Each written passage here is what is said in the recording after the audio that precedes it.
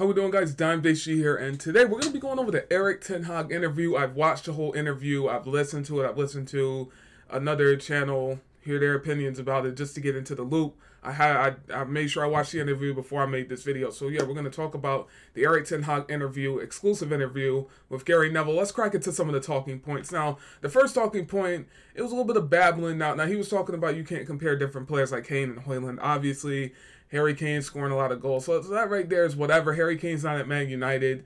So it's, it's just whatever. I mean, that's just filler. So it is what it is just to get to, you know, to stretch the video out. But, um, yeah, so this is these are the main points, right? He's talking about Man United's game model. Now, obviously they bought in Jason Wilcox. They're bringing in these guys. They're changing the structure. They've got Ineos in now.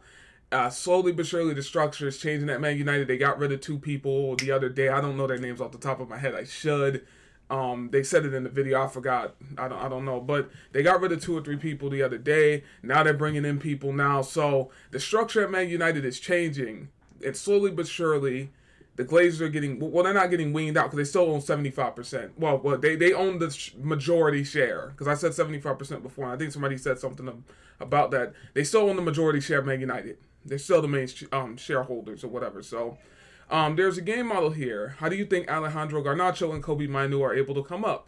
So, I mean, he's talking about how Garnacho and Kobbie Mainoo came through the Manchester United Academy. Obviously, the Manchester United Academy is doing good right now. I'm pretty sure it's at the under 18s or the under 21s. I, they just won a trophy. So, they're playing really good. They're playing good football, but the first team is not playing good football.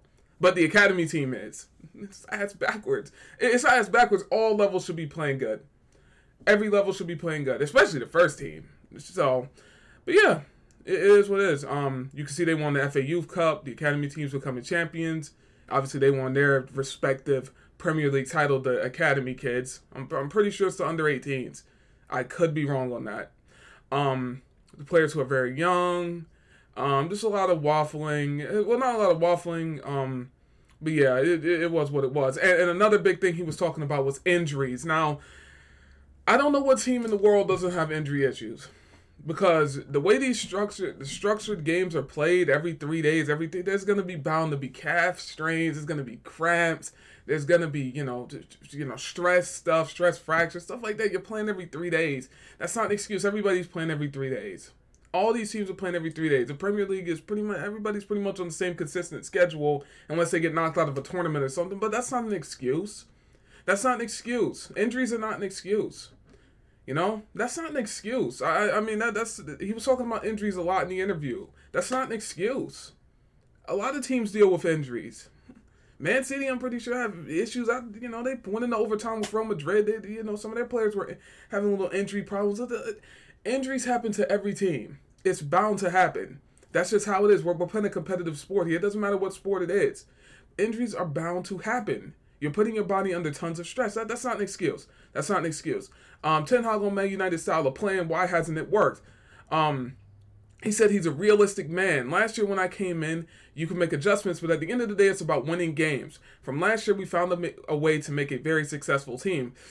Well, I don't know if it's been successful this season, but anyway, um, this year we wanted to make the next step. We in a goalkeeper. He's obviously talking about Onana. Um, they bought in Mason Mount and the goal scorer Højlund. He's obviously talking about Højlund. He wants to give Højlund time. On one hand, we were quite confident we made the right choices, but all the injuries are coming. So, see, he's talking about injuries again. Obviously, the same back four because I mean, we have so many injuries. We had to put Casemiro at center back. So he's basically saying we can't keep a consistent back four because there's a bunch of injuries and we had Casemiro, Kambwala, and, and it's funny that Maguire's not injured. He he always finds a way to get back into the first team. I don't wish injury on anybody. This guy always finds a way. Always. It's crazy. But this isn't about that. But yeah, I mean, he's talking about the changes in the back four. So he brings up injuries again. Injuries are not an excuse. It's not an excuse, in my opinion. Um, and then he asked him, why are there, why have there been so many injuries at center back and left back? Let's see here. We do research, but a lot also has to do with just bad luck. So now we're talking about bad luck now. Um, well, I mean, it comes into that a factor, and plus they're playing games all the time, and yeah, it depends on the training style as well. The manager runs the training session, so if he's doing these hard training sessions, all this stuff, um, all these things that can play a factor as well. If, if it's very hard, intense training, and we have a game two days from now, you're doing a hard training session two days before, you got to give the body time to rest, at least 72 hours. If you do 48, you're pushing it. You can, but you're pushing it. You're pushing it. And that's where injuries come into play because the mind, the body is not quite ready to come back yet. And you have to give your body time to rest. So, um, you know, we've now played 47 games and we've had 30 combinations in the back four.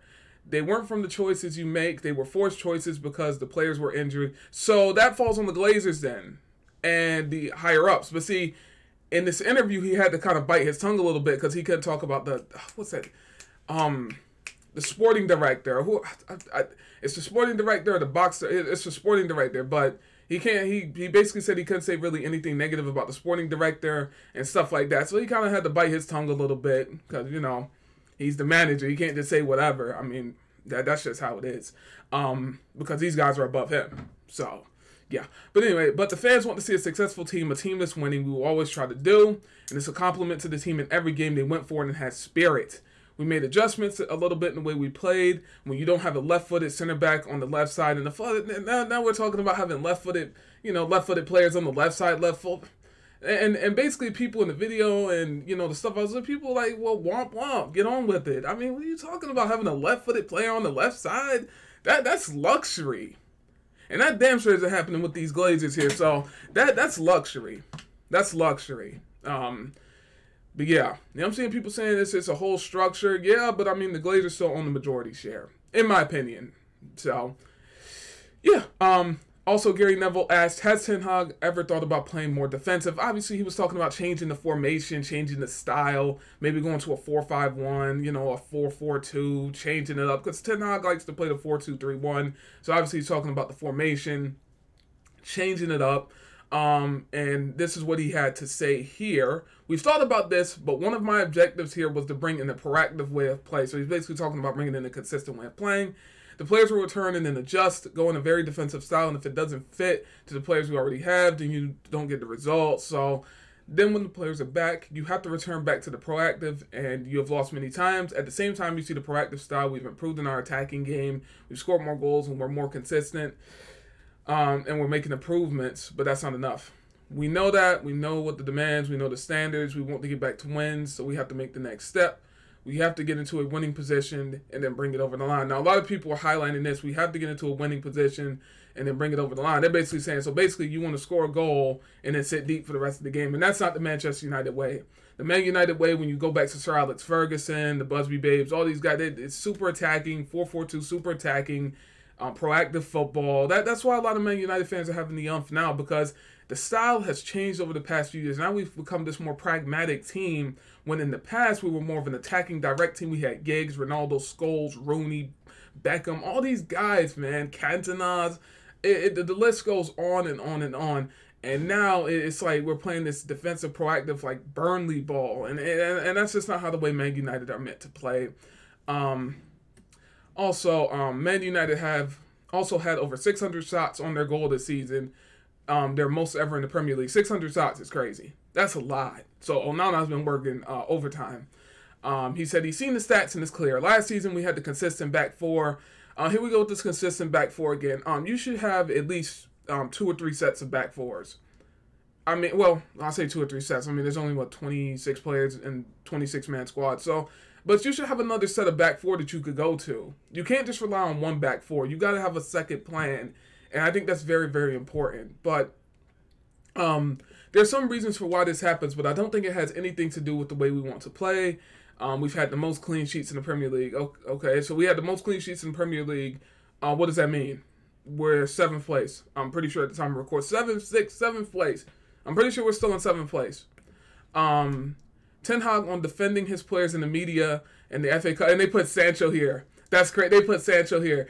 Sancho is literally um uh, three 90 minute games away from winning the Champions League. Can you imagine if he wins the Champions League and comes back to Man United? The the trophy that we've been trying to win and he comes back.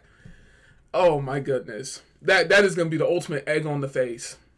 That's egg on the face. If if he go if he went on loan to Borussia Dortmund, if you notice there isn't they're not talking about anything going on with Sancho. They're not talking about he's a he's you know he's a diva, he's destructive. They haven't said anything about Sancho since he's been to Dortmund. If anything, he's been doing well.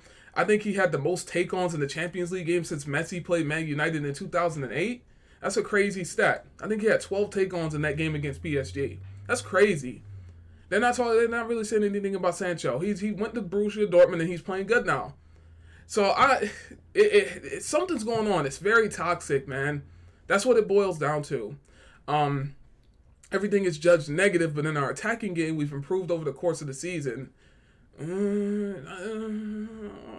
I, I guess.